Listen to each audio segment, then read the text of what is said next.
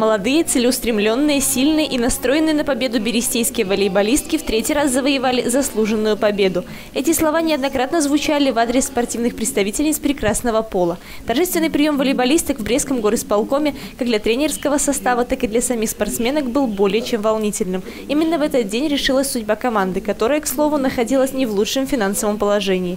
На встрече клубу было сделано официальное предложение стать государственным учреждением с выделением специального помещения чемпионский титул в игровом виде спорта – это очень ответственно и очень тяжело.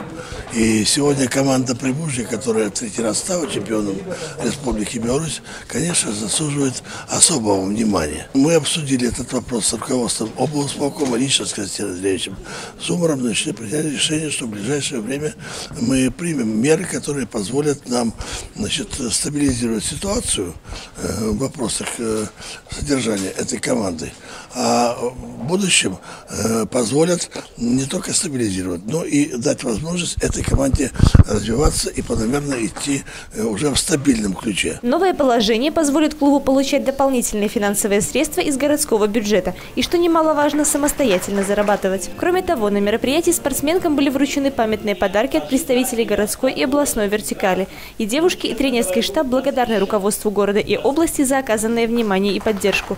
Возможно, уже в ближайшем ближайшем будущем, благодаря некоторым изменениям, команда достойно проявит себя на европейских соревнованиях. Конечно, сегодня главное, как на сегодняшний день, это не упустить время которое, в общем-то, с каждым днем уходит, время, которое надо в первую очередь для комплектования команды. Если у клуба будет государственная поддержка и будет у него своя, ну, как говорят, недвижимость, где можно что-то проводить, все остальные, тогда, тогда, наверное, и с нас можно будет спрашивать совсем по-другому.